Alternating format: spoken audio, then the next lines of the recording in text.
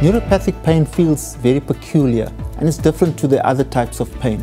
And when we talk about neuropathic pain, you would use words like burning pain, tingling, pins and needles, numbness, uh, feeling cold, also feeling that the skin feels quite sensitive and irritated by things like blankets and, and clothes.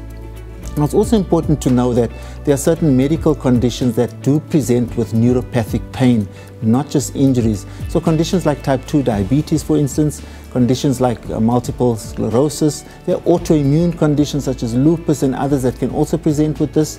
Cancer can present with neuropathic pain as well as the treatment for cancer such as chemotherapy.